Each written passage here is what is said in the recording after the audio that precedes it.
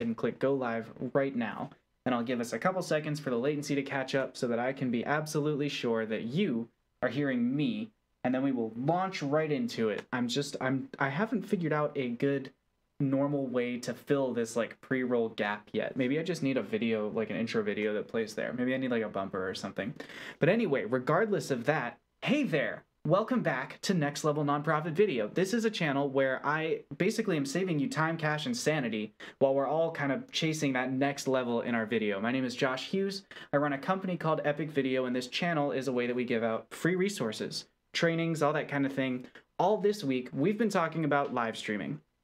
Live streaming has suddenly become particularly relevant to our culture, with us all being locked away in our homes and not really knowing what uh, what happens next and making sure we can still stay in contact especially for cause-based organizations like you and me you know nonprofits small businesses um, churches you know people like that houses of worship however you want to say it.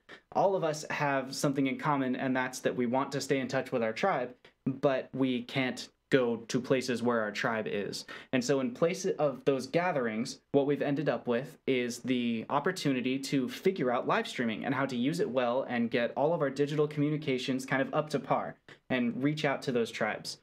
So that's basically what this whole week has been about. It's been about the gear we use for live streaming, the techniques we use to live stream, all those kind of things, and it culminates in this. Today, I'm going to literally give you some shopping lists of here's how you can go live. Now, you don't have to use my specific recommendations, but these are combinations of gear that will work at various price points for people with different use cases to try and give you a starting point so that you can get into the field of live streaming without having to feel so overwhelmed by all the options and without having to worry about your budget because I've got them at different budget levels and all those kinds of things. And don't worry if you're not super technically inclined, these are still going to work great for you. If you're with me live right now, welcome. So excited to have you. Feel free to drop a hi in the comments or something like that. And uh, I will be taking questions throughout the live stream. So uh, every now and then I will pause, check those comments, and see if you've got any questions that I can answer or clarify, and then I'll keep moving forward.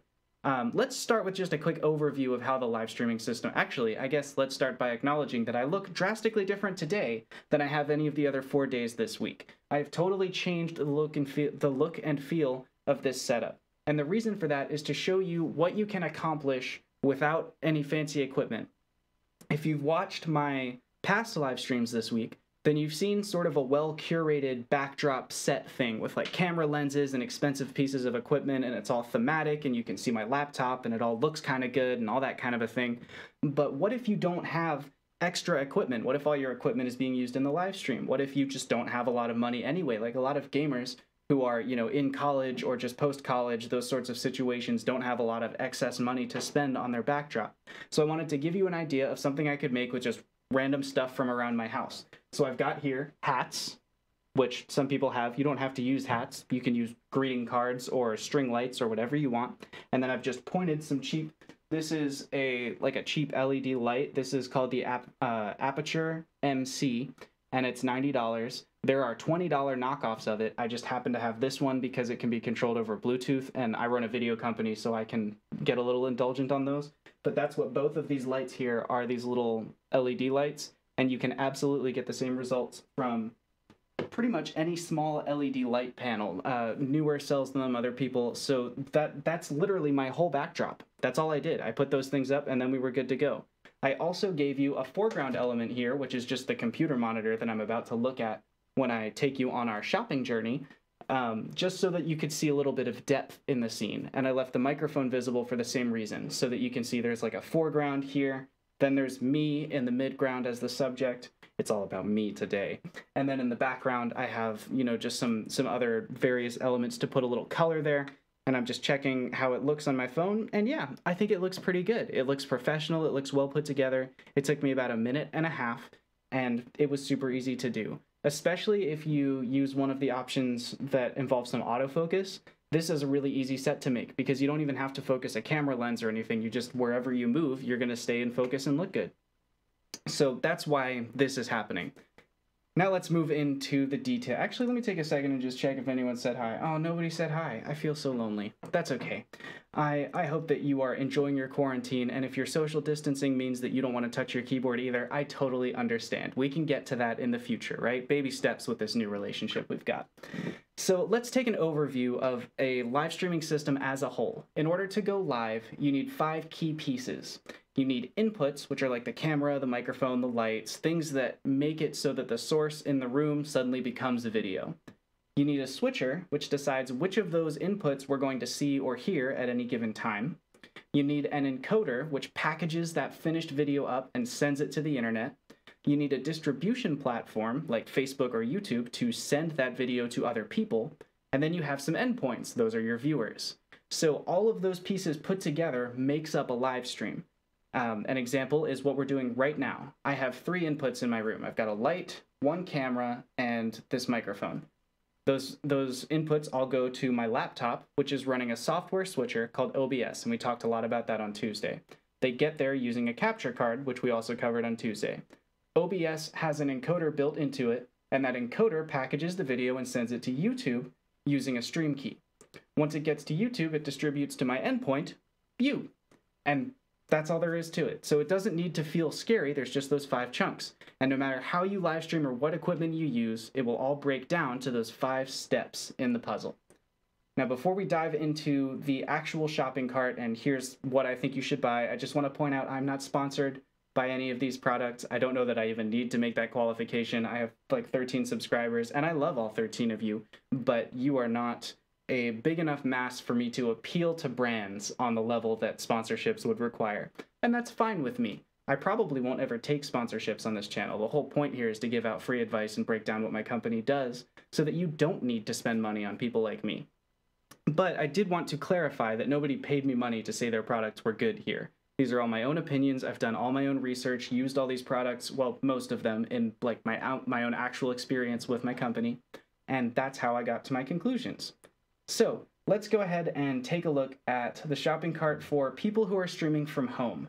So there are a bunch of different reasons to live stream from your house. I mean, right now you can't leave, but even non quarantine notwithstanding, there are lots of reasons you might stream from your house. You might be a gamer, you might be a musician who wants to play, you know, play out some songs that you haven't fully finished yet or even show off some of your solo numbers.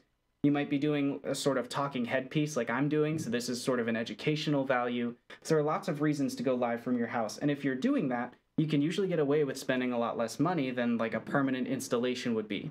You don't need to, and certainly if you have the resources to invest, you can get really high quality things.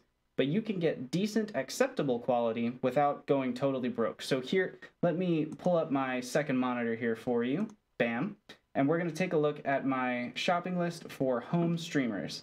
So this is a single person on camera sort of stream. And we're going to begin by me then going back to my notes so that I know what I'm about to show you. Okay, so we're going to start with the camera. This is the Razer Kiyo webcam.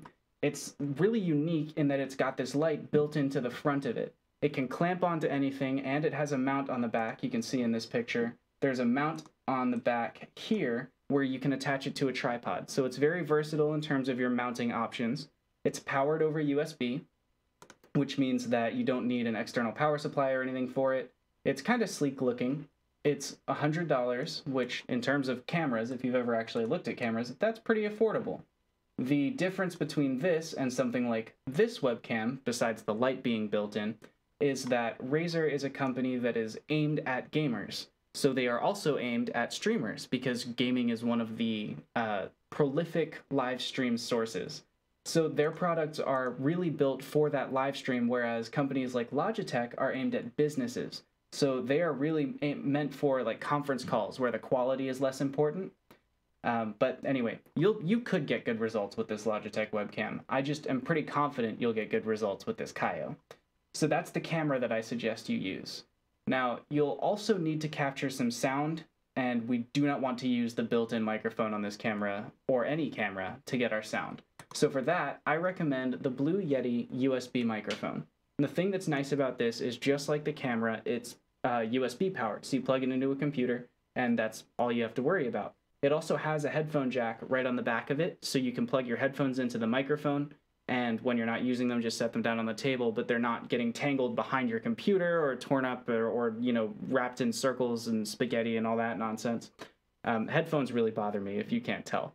So that's a really big benefit of this microphone. It's also what they call a large diaphragm microphone, which just basically means this bit at the top of it up here is gigantic. And because it's gigantic, it's going to pick up sound a lot better than a small diaphragm microphone would.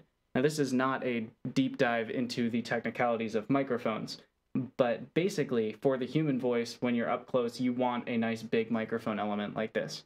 So I recommend this microphone. It's $130, which brings our total so far to $230.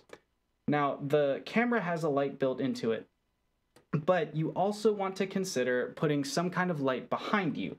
If we come back to our full full screen view here, what I've done on the outside of my head is you can see I've created some rim light, and that rim light separates me from the background.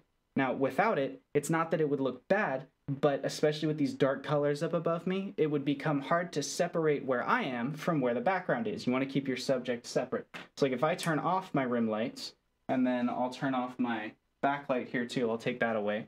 Now look at the top, the back uh, edge of my head. The back of my head is ridiculous.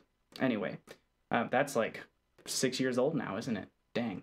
Anyway, you can see now the difference and how I'm not as separate from the room that is behind me as when I take this light and pop it there, turn on a rim light, and now all of a sudden I stand out against that background.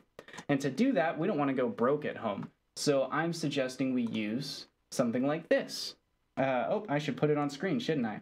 Something like this. This is a Craftsman work light, basically, like for your garage. It gets continuous power because you plug it into the wall, so you never need to worry about your batteries running out or anything crazy like that. It's got this mounting bracket on the back of it that you can screw into a wall, or you can stand it up on its own, or you can hang it from something. So you have all these different options for where to put it, and it's only 20 bucks. So take one of those, set it behind you on the floor, shoot it upwards at an angle, and it will effectively rim light you you can get three of these if you want and experiment with just how much light you can add to the set. You could do something like, I mean, this light is white right here. You could do that with any work light like this. It doesn't have to be one of the little LED panels. So that brings our total so far from 230 up to 250 to approximately 300 if you wanted to get three or four of these. That's $300 and we've got all the tools for our inputs. Now we also need to talk about our switcher, right? All these things connect to something. They need to get switched, they need to get encoded, and we need to distribute them. Luckily, you can do all that stuff for free. You can switch them with a software called OBS, which I'm using right now, and it looks real space agey because it's like the middle of it is previewing the scene, so you're seeing OBS in OBS. Here, this will make it look a little less wacky. If I just bring this list down here and cover up the center part, this is OBS. It's a switcher. It's open source and free, so you can just install it and go. It's very easy to use. And then uh, OBS has an encoder built into it, so you don't need to worry about encoding because OBS takes care of that. And YouTube, which is my current distribution platform, and many others, are free. So all of those parts of the, the puzzle become free, and they're very easy to do. So that's pretty dang convenient. So let's come back to our distribution platforms for a second. We've picked a switcher and an encoder. We're going to use OBS, which is free. We spent $300 on equipment. Now, how do we choose the right distribution platform? Because it's one thing to just have your live stream out there, and it's another thing entirely to have it go to the right place to reach your tribe. We talked yesterday during our distribution platforms talk, which was regrettably abbreviated, because there was a thunderstorm and my internet kept going out. So I sort of rushed through everything to make sure I didn't lose uh, connection for the live stream. We talked yesterday about which platform is right for which use case. So if you want a more detailed understanding of all the platforms, I really think it would be good for you to just go watch that video. But I will give you a quick overview of some of those use cases we've talked about today, right? Musicians, talking head educational channels, and gamers. The educational channels always need to be on YouTube. YouTube is almost more used than Google when people have a question about something, when they want to learn how do I change the oil in my car, or when they think, oh, my dishwasher's making a weird noise. People go to YouTube to learn things because it's so much easier to learn for most people over video than it is by reading like a blog post or something like that.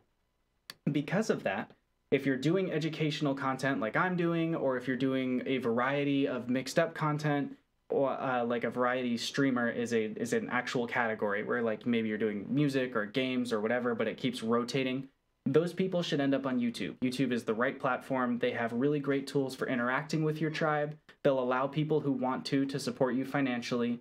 They give you great analytics so you can watch your reach and see how your stream is performing in terms of where it goes and who it goes to. Those are all great reasons to use YouTube if you are a nonprofit or a business that's trying to connect with your tribe and update them, basically to reach out to already bought in insiders, then you should be connecting to Facebook. Facebook is the place where people go to interact on social media. It's the best platform because most of your target audience are already there. And especially for nonprofits who are providing these kinds of updates or fundraisers, you especially want to reach your tribe where they are now. YouTube is great for expanded reach, like discovery. YouTube has an algorithm that basically understands the users better than the users understand themselves, so it will serve your video up to someone who doesn't even know they want to watch it yet. But Facebook is really good at notifying your followers who will like if you're if you're a nonprofit and you have that bought-in tribe of like 150 people who volunteer with you, donate to you, whatever, and they just care about everything you do, YouTube's notifications don't get delivered all at the same time, so they may not all hear about it at the same time, even if you schedule your live stream in advance. But on Facebook, they are much more likely to see that because Facebook tracks where people engage. So Facebook is a great place to interact with people to poll or survey or you know even fundraise a little bit although you may need to send them off Facebook for the actual donations. Facebook is the right platform. If you're doing quick updates from like out in the field, which of course we can't do right now because of quarantine, then you really should just take your phone and go live stream uh, like on Instagram. You know, oh hey, I'm here at the place doing the thing, and th- this is what we're doing. That's that's the Instagram kind of stream. What about gamers?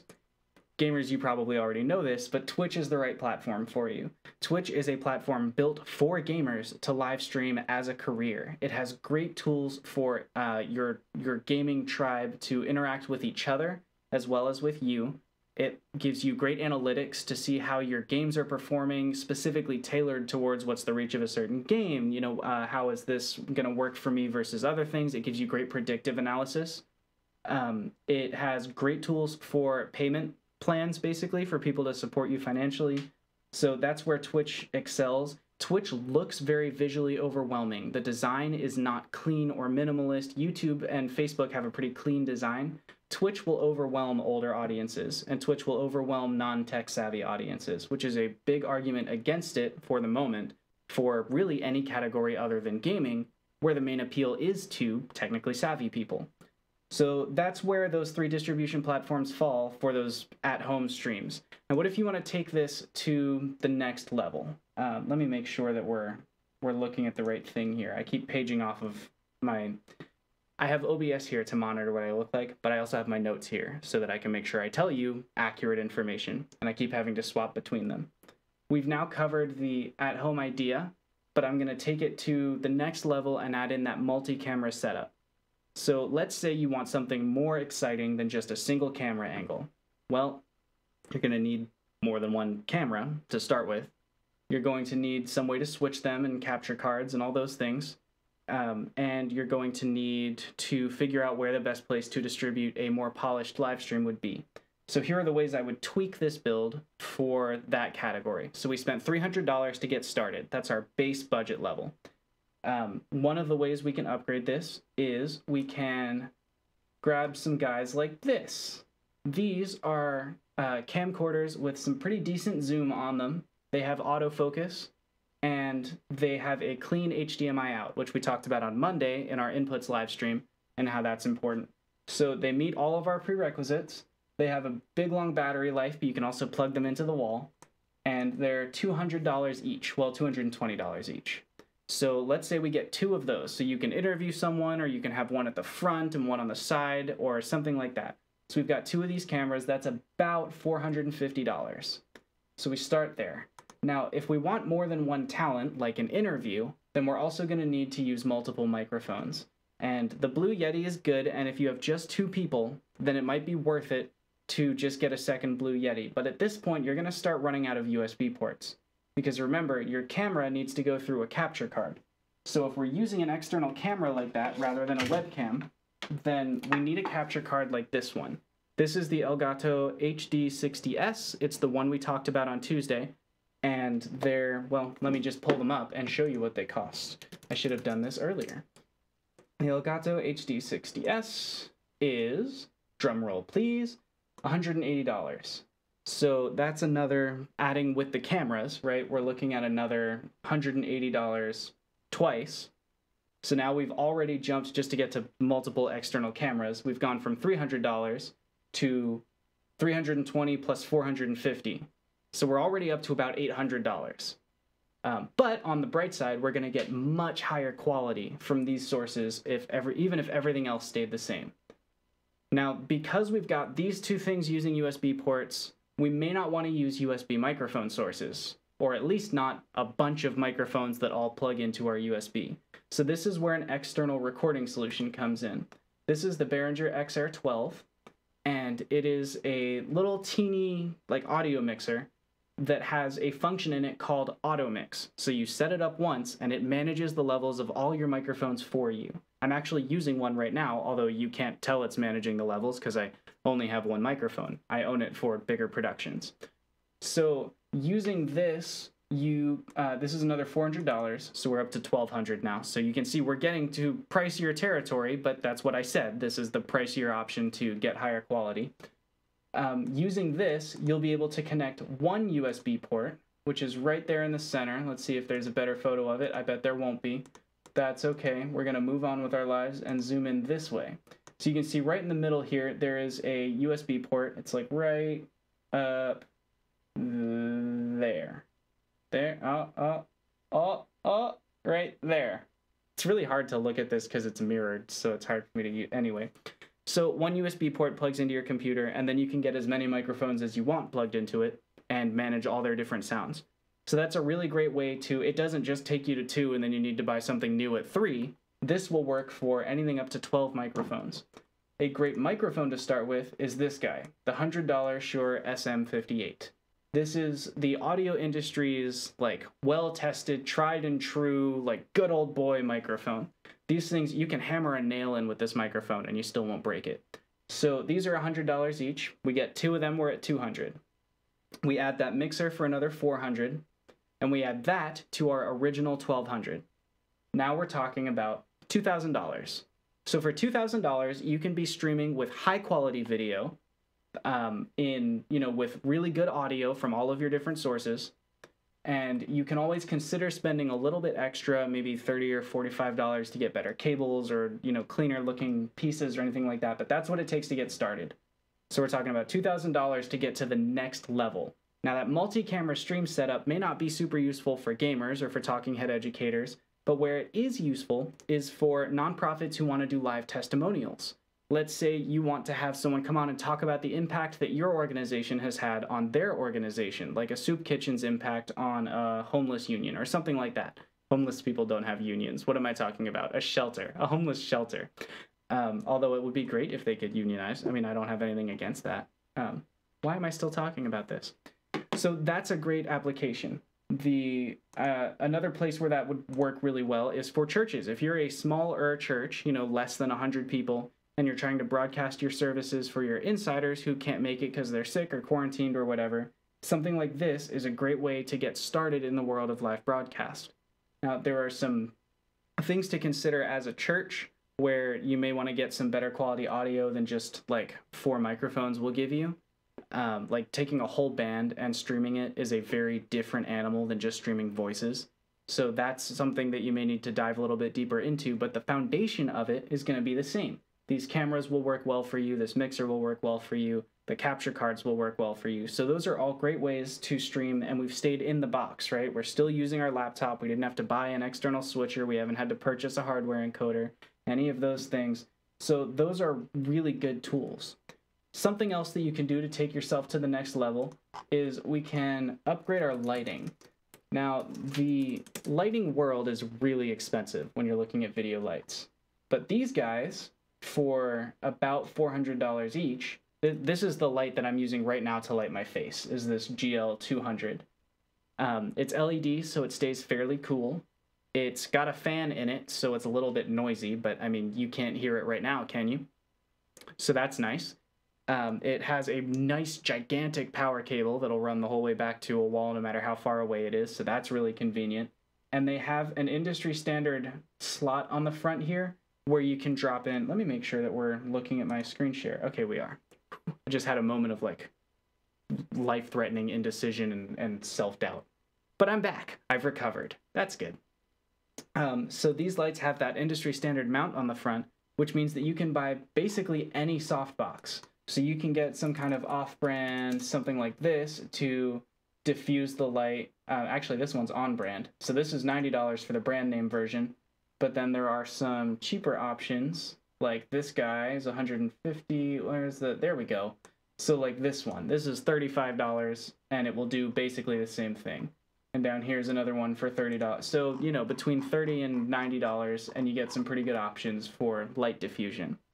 Playing with lighting is another really in-depth topic that maybe I'll give its own stream to sometime in the future. If that's something you'd be interested in, feel free to drop a comment and let me know. Let's let's talk to each other. Let's be friends. Let's be friends. Why can't we be friends? So we talked about lighting. If you want to go like the whole way up to the best of the best, what you're looking for is one of these. The Aputure 120D uh, Light Storm. And these guys are really powerful. They, they uh, have an external power supply, so they don't need a fan, so they don't make very much noise. They're they're great. I love these lights. I don't own any of them because they're expensive, but I love them. And if I were made of money, I would own them. So that's where you can do to that's where you can go to take your lighting up to the next level as well. Uh, let me pause here and just check are there any questions because I would hate to walk all over people's questions and not check on them. Doot doot doot. Pulling up the YouTubes. No, it doesn't look like we do have any questions so I'll keep going. If you have questions, as a reminder, feel free to drop them in the comments and I will gladly address them. Um, actually, it also looks like perhaps the stream's a little bit behind me. Maybe I'm not giving enough time for questions. So what I'm going to do is take a bracing shot of caffeine. It's a, it's a Coke, not sponsored. And then when we've given this a few more seconds, then I will I will move on.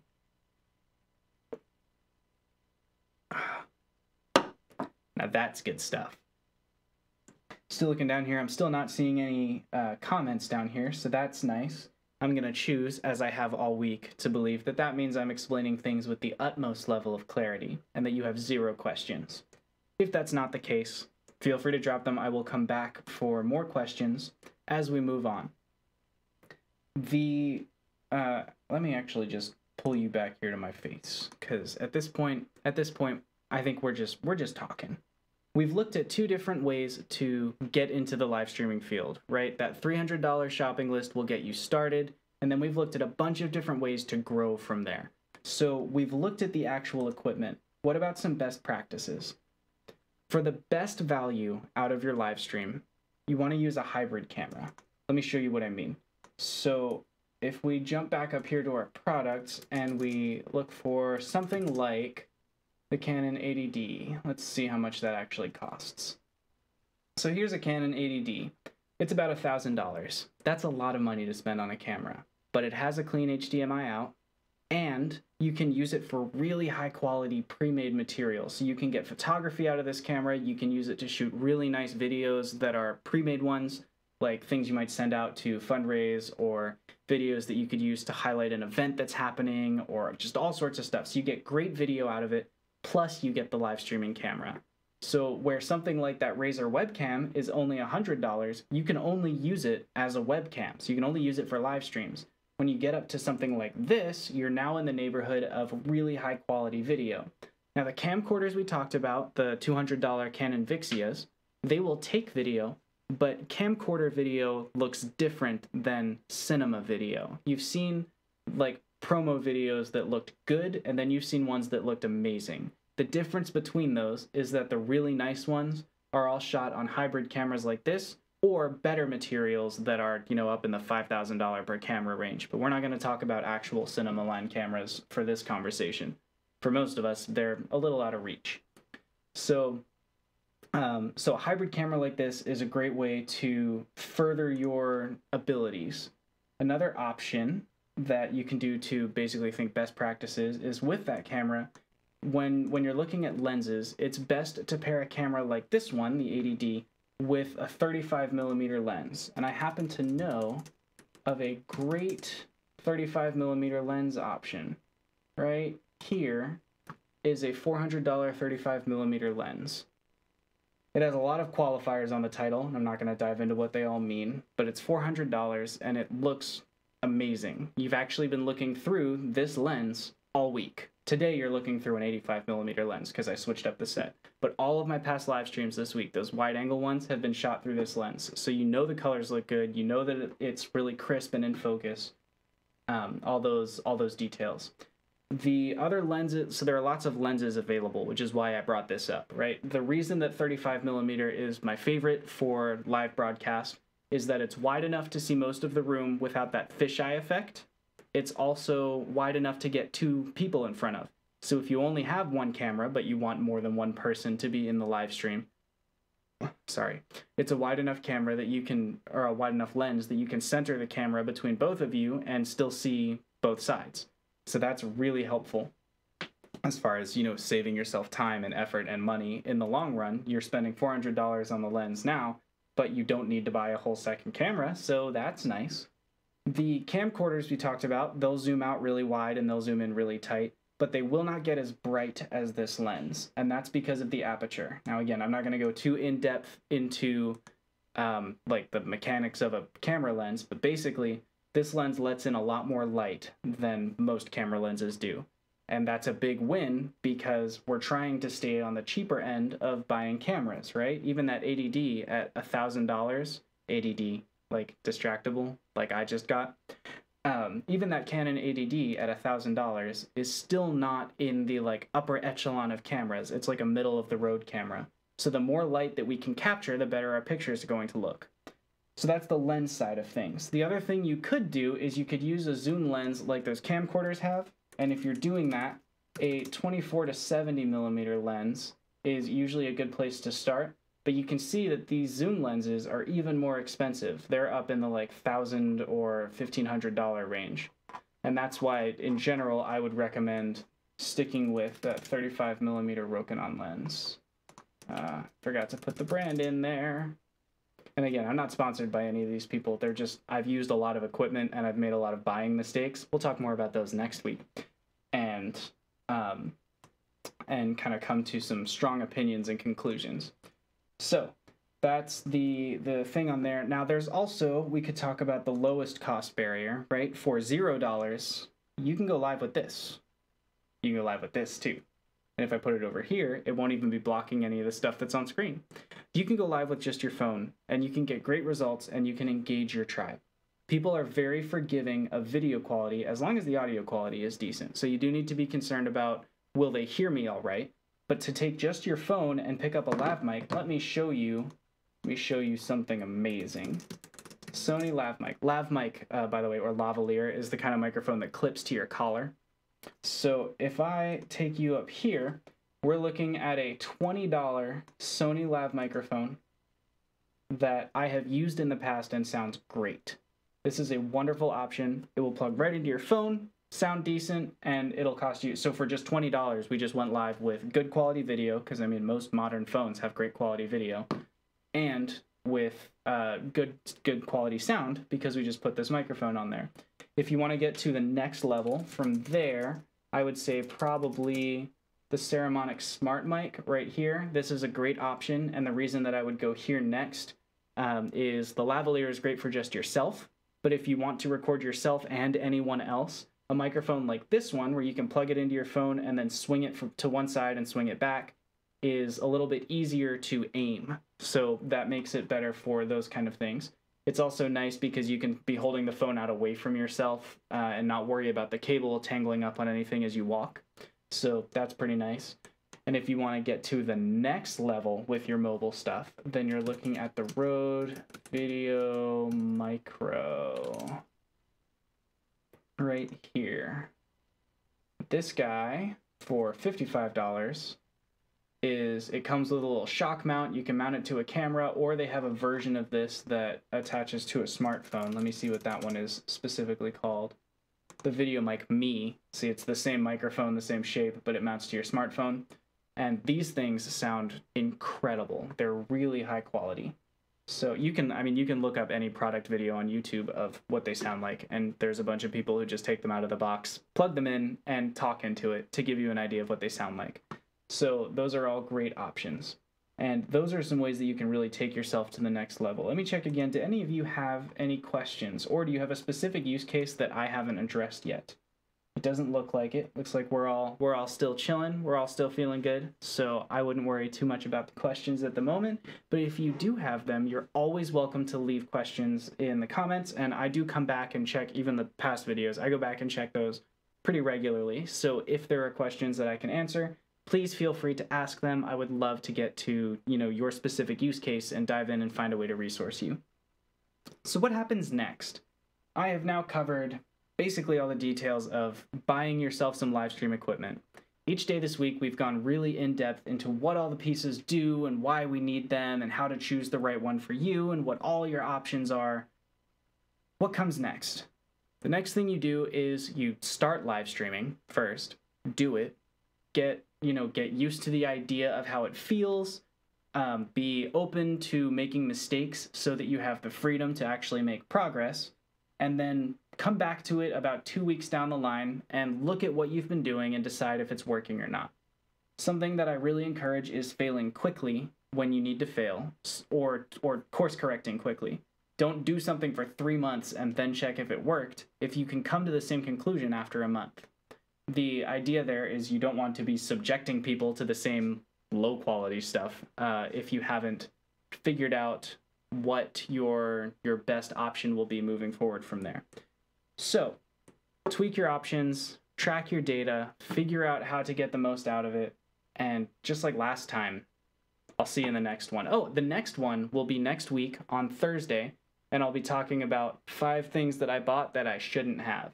We're going to start branching out from live streaming into the rest of video creation because there's a whole lot to this world and covering what exactly it means for me to tell you why you should buy something. We're going to figure out how I came to those conclusions and which things I bought that were totally waste of money so that you don't have to waste your money on the same equipment. Now, just like last time, I will see you next time. Have a great rest of your day, friends.